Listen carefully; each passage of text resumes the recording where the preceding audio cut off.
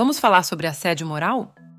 Nosso objetivo é prevenir, esclarecer, identificar, corrigir e responsabilizar a prática de assédio moral e sexual, preservando, assim, a dignidade da pessoa humana e a integridade emocional de todos os nossos colaboradores.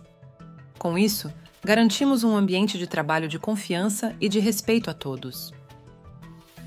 O que é assédio moral?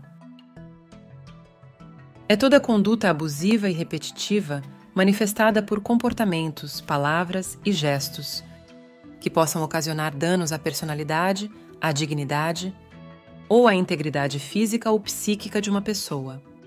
Cobranças profissionais legítimas praticadas com cortesia, inerentes ao ambiente de trabalho, tais como pontualidade, cumprimento de metas, cumprimento dos regulamentos internos, orientação sobre o desempenho profissional, aumento razoável no volume de trabalho, entre outros, não configuram prática de assédio moral.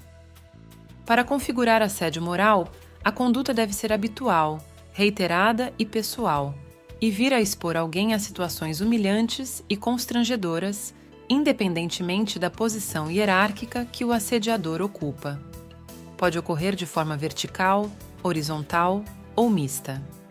O assediador possui perfil autoritário, manipulador, desmotivador e sem empatia, e todo e qualquer colaborador pode ser vítima. Se você for vítima, denuncie.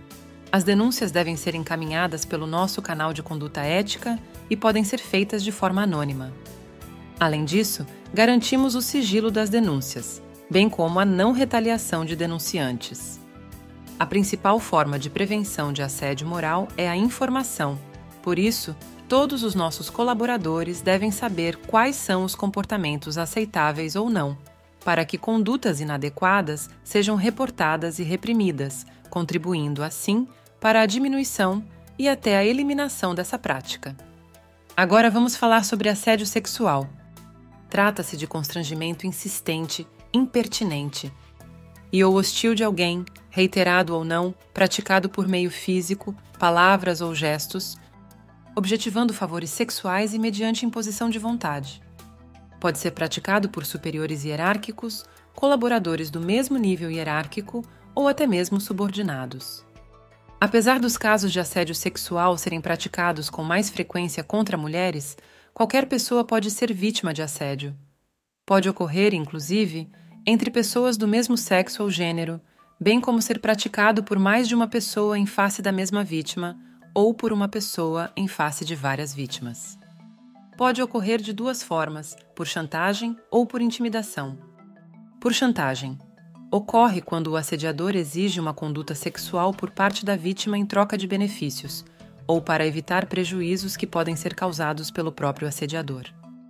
Por intimidação, ocorre quando o assediador, objetivando favorecimentos sexuais, pratica condutas inoportunas que prejudicam a vítima ou criam situações ofensivas de intimidação ou humilhação. Independentemente da modalidade, nem sempre o assédio sexual ocorre com contato físico. Pode ocorrer por outros meios, como contato verbal, gestos, envio de imagens, mensagens ou vídeos, envio de presentes, entre outros. E você sabe qual é a diferença entre assédio e importunação sexual? Enquanto a configuração do assédio sexual depende do objetivo do assediador em obter favorecimentos sexuais, a importunação sexual não se caracteriza pelo objetivo de obtenção de favorecimentos sexuais por parte da vítima. Para que haja importunação sexual, portanto, basta a ocorrência de ato libidinoso contra alguém e sem sua anuência.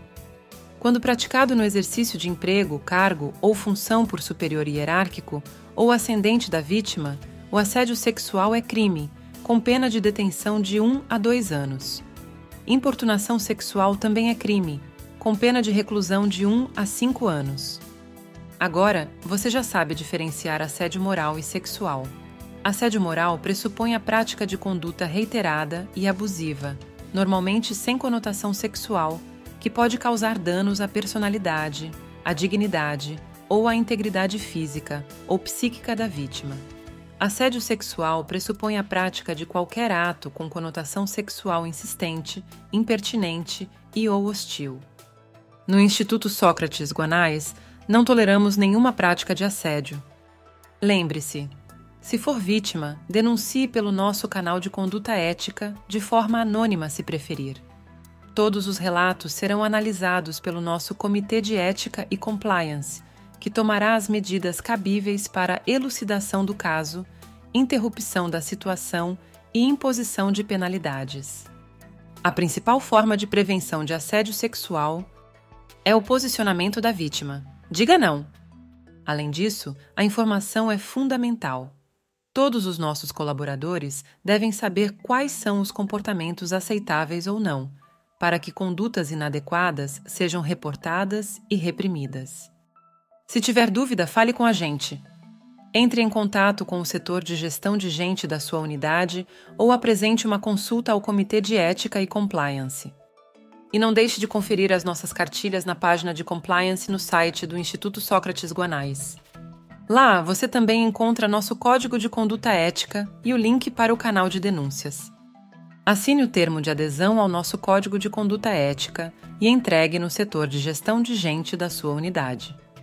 Promover saúde é também cuidar da gente. Um ambiente de trabalho saudável e respeitoso depende de todos nós.